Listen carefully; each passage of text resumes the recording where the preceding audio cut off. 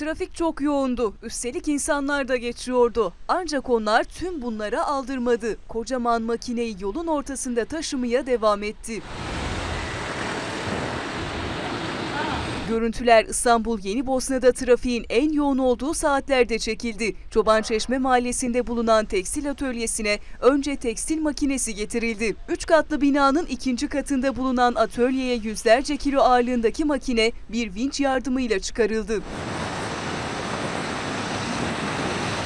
Trafiğin en hareketli olduğu saatlerde hiçbir güvenlik önlemi alınmadan yapılan bu taşıma yöntemi faciaya davetiye çıkardı.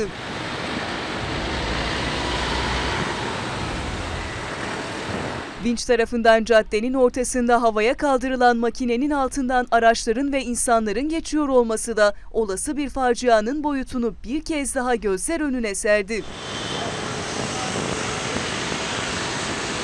Üstelik görgü tanıklarına göre yapılan bu ilginç ve bir o kadar da tehlikeli taşıma yöntemi ilk değildi. Atölye taşıma işlemini her defasında böyle gerçekleştiriyordu.